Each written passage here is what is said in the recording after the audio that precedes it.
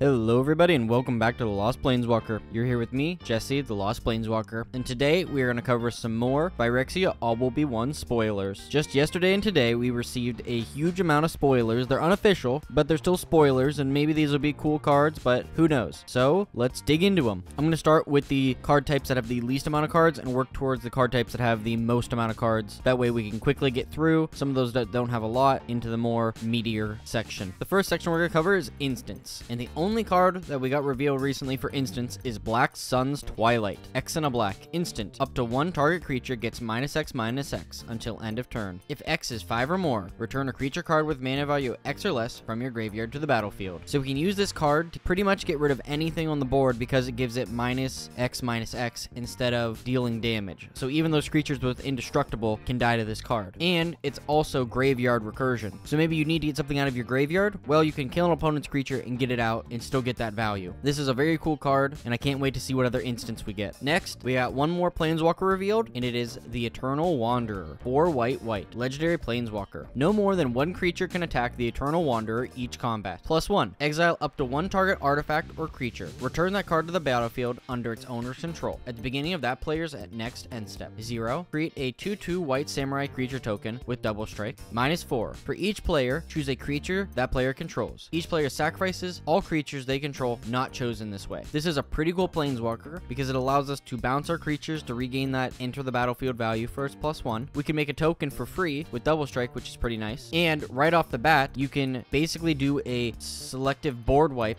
and get rid of all of your opponent's creatures. I can see this being a really powerful planeswalker and pretty much a board wipe in one. So I think uh, I think we'll be seeing a lot of this play. Moving on to the sorceries, we have Red Sun's Twilight. X red red. Sorcery. Destroy up to X target If X is 5 or more, for each artifact destroyed this way, create a token that's a copy of it. Those tokens gain haste. Exile them at the beginning of the next end step. Between the Brothers War and Phyrexia All Will Be One, we've received a lot of really cool artifact cards, and this is going to be a very powerful way to remove those cards, get their value, and play them against your opponent. I can see this card being a perfect one to put in most commander decks because you're going to be able to destroy all your opponent's artifacts and get all that value on your turn to get ahead. After that, we have White Sun's Twilight. X White White. Sorcery. You gain X life. Create X 1 1 colorless Phyrexian Mite artifact creature tokens with Toxic 1, and this creature can't block. If X is 5 or more, destroy all other creatures. This is another awesome board wipe for white, and you get to create a bunch of colorless Phyrexian Mite artifact creature tokens with Toxic, meaning if your opponents can't build their board up after you wipe it, then you're going to get to go just swing in and potentially kill your opponent with poison counters. Moving on to enchantments, we get a really awesome reprint with Phyrexian Arena. One black black enchantment. At the beginning of your upkeep, you draw a card and lose a life. This is a really neat card that I think has fallen out of favor recently with all the other black card draw there is. But Phyrexian Arena is still a card I put in all of my black decks. It's super fun and it helps you get that early game card draw if you can play it on turn 2 or 3. The art on this card also is very great, with Corrupted Vraska capturing Jace. Skrelv's Hive, 1 and a white enchantment. At the beginning of your upkeep, you lose 1 life and create a 1-1 colorless Phyrexian Mite artifact creature token with Toxic 1. And this creature can't block. Corrupted. As long as an opponent has 3 or more poison counters, creatures you control with Toxic have lifelink. Right away, this enchantment reminded me right of Bitterblossom. It's got the same ability, you lose a life and make a 1-1 creature token. This one can't block, which is why Bitterblossom is really good, but it also has Toxic and gives all creatures with Toxic lifelink. Within the last two years, we've received a lot of cards that draw you more cards whenever a little creature enters the battlefield, and this is a perfect card to combo with those cards. Next, moving into lands, we have Blackcleave Cliffs. Land. Blackcleave Cliffs enters the battlefield tapped unless you control two or fewer other lands. Taps for a black into red. Well, in Phyrexia All Will Be One, we're going to get these reprinted lands that we've needed for a long time. These are really popular in modern and other 60 card formats because you can play them early on, untapped, and be able to ramp very early. These are not cheap cards, so these are going to be awesome to pull from these packs. Copperline Gorge. Land. Copperline Gorge enters battlefield tapped unless you control two or few other lands. Add a red or green. Again, this is a really needed reprint, and I'm glad we're getting them here. Mirrex. Land. Sphere. Tap to add a colorless. Tap to add one mana of any color. Activate only if Mirrex entered the battlefield this turn. 3. Tap. Create a 1-1 colorless Phyrexian Mite artifact creature token with Toxic 1, and this creature can't be blocked. This is a theme I think we're going to see on a lot more cards, are these little Phyrexian Mites. Seachrome Coast. Land. Seachrome Coast enters the battlefield tapped unless you control two or fewer other land. Tap for a white and a blue. I personally picked up playset of these, and uh, it cost me. So I'm very excited to see that they're reprinting this one as well. The Monumental Facade. Land. Sphere. The Monumental Facade enters the battlefield with two oil counters on it. Add a color list. Remove an oil counter from the monumental facade. Put an oil counter on target artifact or creature you control. Activate only as a sorcery. Oil counters are going to be a big part of this set, and I'm very excited to see lands like this that can help you put them on your creatures when you need them. The Mycosynth Gardens. Land, sphere. Tap to add a colorless. 1. Add 1 mana of any color. X. Tap. Mycosynth's Garden becomes a copy of target non-token artifact you control with mana value X or greater. I can see this card going for a lot of money because you can turn it into one of your best artifacts on the board and get even more value out of it. And it doesn't go away at the end of the turn, so it permanently becomes whatever artifact you decide to copy. The Seed Core. Land, sphere. Add a colorless. Add one mana of any color. Spend this mana only to cast Phyrexian creature spells. Corrupted. Tap. Target 1-1 creature gets plus 2, plus 1 until end of turn. Activate only if an opponent has 3 or more poison counters. This is another really cool card that's going to be really great for all those Phyrexian cards you want to cast and fixing your mana. Now, moving into artifacts, we have a lot of them. We have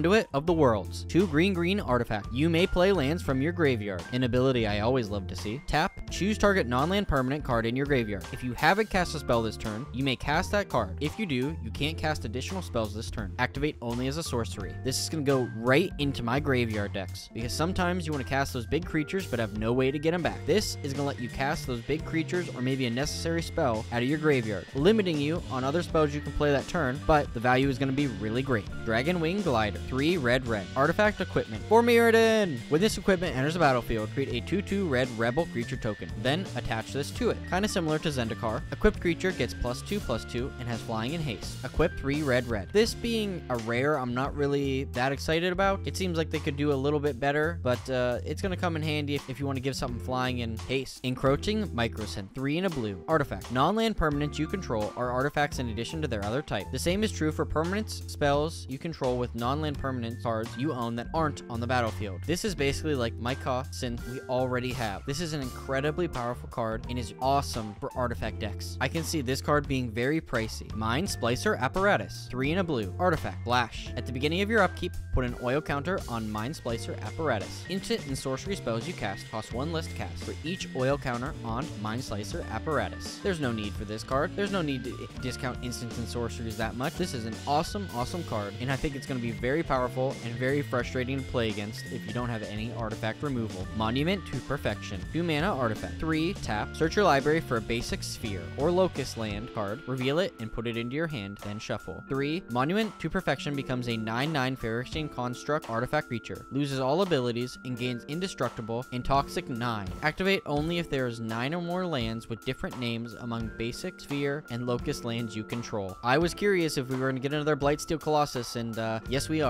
There's a few conditions you have to meet for this. Having basic lands of different types, spheres of different types, and locust lands of different types, adding all up to 9 before you can do so, but uh, I can see players specifically building decks just to be able to play this card. This is going to be very interesting, to say the least. Norn's Wellspring, 1 in a white. Artifact. Whenever a creature you control dies, scry 1, and put an oil counter on Norn's Wellspring. 1 in tap. Remove 2 oil counters from Norn's Wellspring, draw a card. I can see this being really powerful in Orzhov decks that revolve around little creatures that are dying all the time. You're going to get to scry cards you want on top of your library, and then potentially draw them. Tablet of Compleation. 2 mana artifact. Tap, put an oil counter on Tablet of Compleation. Tap, add a colorless. Activate only if Tablet of Compleation has 2 or more oil counters on it. 1. Tap, draw a card. Activate only if Tablet of Compleation has 5 or more oil counters on it. I could see this maybe being good if you have a lot of proliferate in your deck to increase the number of oil counters you have, not just once per turn, but this does not seem that good of a card. If you play it on turn 2, you can tap it to put one counter on it. Turn 3, you can tap it to put another counter on it, and it's not until turn 4, or two turns after you played it, that you can actually tap it for just a generic mana, and that makes it so you can't draw cards later on. I would stay away from this card. Urabrask's Forge, 2 in a red. Artifact. At the beginning of combat on your turn, put an oil counter on Urabrask's Forge. Then, create an X1 red Phyrexian horror creature token with trample and haste, where X is the number of oil counters on Urabrask's Forge. Sacrifice that token at the beginning of the next end step. This is a pretty neat card, and it's going to make some really big trample haste creatures. This is going to be annoying to play against, but I think it might be a fun card to play. Blade of Shared Souls. Two in a blue. For Mirrodin. When this equipment enters the battlefield, create a 2-2 red rebel creature token. Then attach this to it. Whenever Blade of Shared Souls becomes attached to a creature, for as long as Blade of Shared Souls remains attached to it, you may have that creature become a copy of another target creature you control. Equip 2. This is an awesome card, and I can't wait to play it. You can basically attach it to a little 1-1 you created, just like this 2-2 rebel it creates for you, and copy an amazing creature on your board. This is going to be a staple card for sure. And with that, we're going to check out some creatures. And I'm going to divide the creatures up into regular and legendary because there's quite a few legendary creatures and I don't want them to get mixed in. Starting off with the non-legendaries, we have Archfiend of the Dross, 2 black black creature, Phyrexian Demon. Flying, Archfiend of the Dross enters a battlefield with 4 oil counters on it. At the beginning of your upkeep, remove an oil counter from Archfiend of the Dross. Then, if it has no oil counters on it, you lose the game. Whenever a creature an opponent control dies,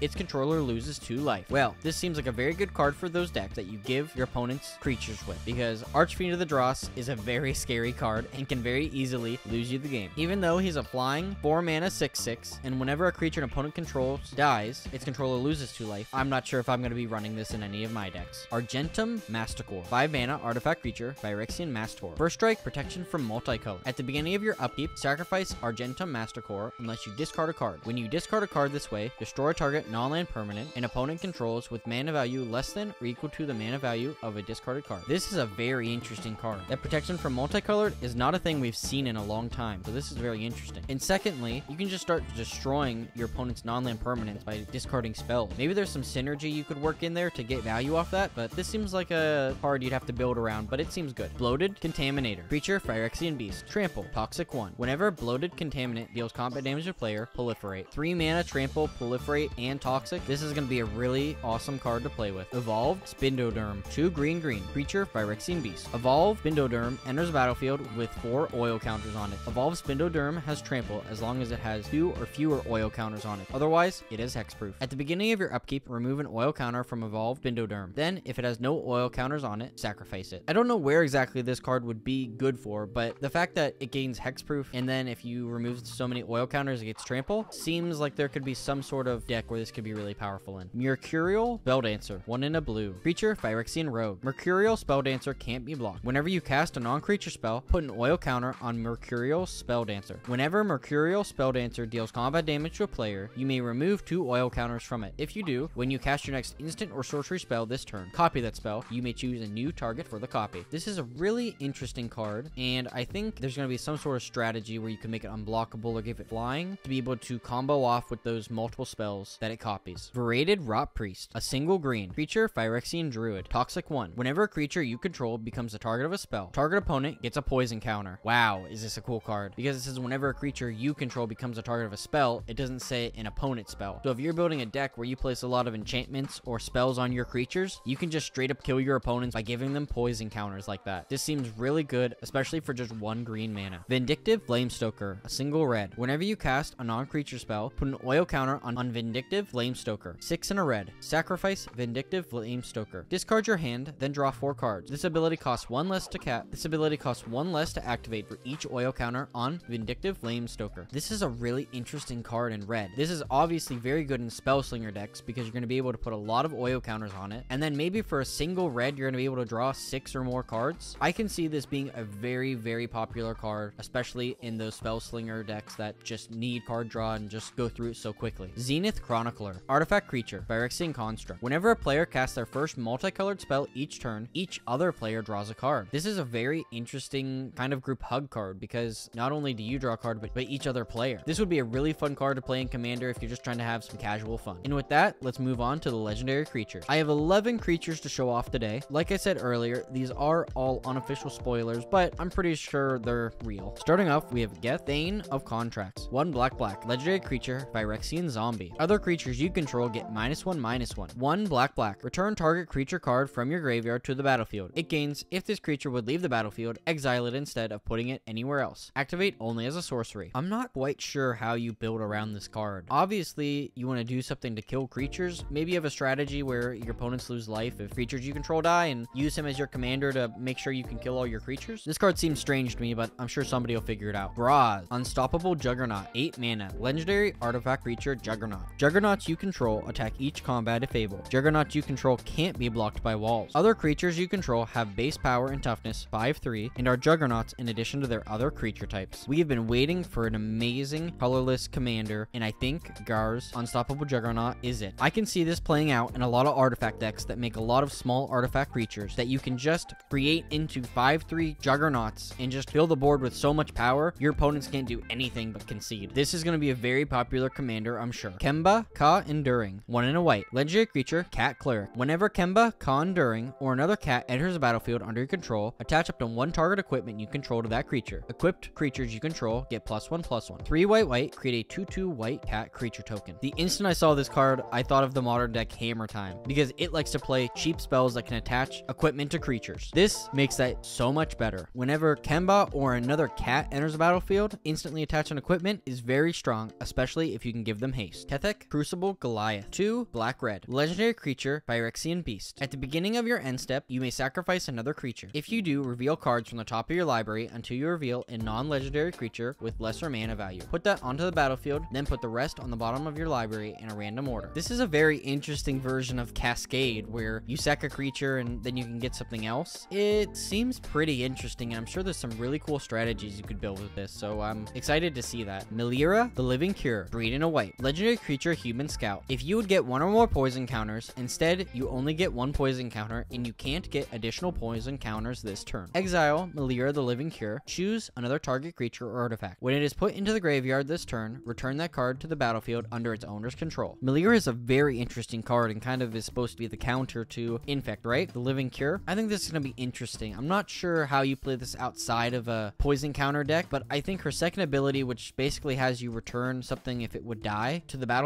is a really cool ability, and I can't wait to see more. Migloz, Mazer Crusher. 1 red, green. Legendary creature, Phyrexian Beast. Migloz, Maze Crusher, enters a battlefield with 5 oil counters on it. 1. Remove an oil counter from Migloz. It gains Vigilance and Menace until end of turn. 2. Remove 2 oil counters from Migloz. It gets plus 2 plus 2 until end of turn. 3. Remove 3 oil counters from Migloz. Destroy target artifact or enchantment. This is a pretty cool card to be a commander because it gives you a lot of versatility in its ability. This is the kind of commander you want to kind of build around, and maybe you make it an oil counter deck so you can continue to put oil counters on him, or maybe a Voltron deck so you can use his other abilities to make him really good. This seems like a really fun card. Ovika, Enigma Goliath. 5 blue red. Legendary creature Phyrexian Nightmare. Flying, ward 3, and pay 3 life. Whenever you cast a non-creature spell, create X 1 1 red Phyrexian Goblin creature token, where X is the mana value of that spell. Then they gain haste until end of turn. 6 6. Ovika is a very interesting card. I instantly saw this and said, ooh, that's really good, and then was like, the mana value is pretty high for this, so you're gonna have to do some ramping or figure out how to do that in blue and red. But once you do, all those spells you're gonna be casting is gonna make you so many creature tokens. It's gonna be very cool. Ria, Ivor, Bane of Bladehold. 2 white black. Legendary creature Phyrexian Knight. Battle Cry. Whenever this creature attacks, each other attacking creature gets plus 1 plus 0 until end of turn. At the beginning of combat on your turn, the next time target creature would deal combat damage to one or more players this combat. Prevent that damage. If damage is prevented this way, create that many 1-1 colorless Phyrexian Mite artifact creature tokens with Toxic 1, and this creature can't block 3-4. This is a really, really interesting card. We haven't really ever seen anything like this. If you would deal damage, you can prevent that damage instead. That's a really unique ability we haven't seen, especially on creatures you control dealing the damage. And it creates those 1-1 mites. This instantly looked at an Orzhov Aristocrats deck where you have all those little tokens and can sack them to deal major damage to your opponent. Maybe this way, instead of you just dealing one damage to opponent, you can sack it and deal damage to all of those opponents. This card is going to be one I'm going to be building around. Thrun, Breaker of Silence. 3 green green. Legendary creature, Troll Shaman. Thrun's back. We've been waiting a long time for this. This spell can't be countered. Trample. Thrun, Breaker of Silence can't be the target of non-green spells your opponents control or abilities from non-green sources your opponents control. As long as it's your turn, Thrun has Indestructible. Thrun is a very old card that I happen to get a copy of through the mystery boosters and he just is an interesting guy. So I'm really glad to see this card and I don't know if this is really a card you can build around as your commander, but I'm really excited to see it back. Unctus Grand Metatect. 1 blue blue. Legendary artifact creature Phyrexian Vedalken. Other blue creatures you control have whenever this creature becomes tapped, draw a card, then discard a card. Other artifact creatures you control get plus 1 plus 1. A Phyrexian blue mana, which can be paid for with either blue or 2 life. Until end of turn, target creature you control becomes a blue artifact in addition to its other colors and type. Activate only as a sorcery. This is a card I did not think we were going to be getting. There's a lot of synergies and combos in which you turn creatures into artifacts and manipulate them like that. But the fact the fact that whenever other blue creatures become tapped, you can discard and draw cards, is just going to be an incredibly powerful way to just mill through your library. I'm sure this is going to be a very popular card, and a lot of people are going to build decks around it. And lastly, we have Venser Corpse Puppet, blue and a black. Legendary creature, Phyrexian Zombie Wizard. That's a mouthful. Lifelink, Toxic 1. Whenever you proliferate, choose one. If you don't control a creature named the Hollow Sentinel, create the Hollow Sentinel, a 3-3 colorless Phyrexian Golem artifact creature token. Or, target artifact creature you control gains flying and lifelink until end of turn. Poor Venser turned into a corpse puppet. These abilities are very strange. Whenever you proliferate is not something we have a lot of. There's, I mean, there's a good amount of it, but this is a deck you're going to build this around and create a bunch of these hollow sentinels and give them flying and lifelink. This seems like an interesting card, and I can't wait to see what people do with it. Well, that's it for now. These are all the cards within the last two days that were spoiled, and boy, are there some cool ones in there. I can't wait for this set to release fully and start playing with them. But if you enjoyed this video, I would really appreciate it if you could subscribe to my channel and help me out. Recently, I've been getting a lot of attention, and I really appreciate it if you're one of those viewers. And if you decide to subscribe, thank you very much. If you like this video and want to see more, you know, I have a whole bunch of other videos on my channel. You know, if you enjoyed it, please give a like. If you have something to say, maybe there's a card you like, or maybe there's something you're not excited to see they bring in, please leave it in the comments below. But I think that's it. So, as always, I'll see you later, Planeswalkers.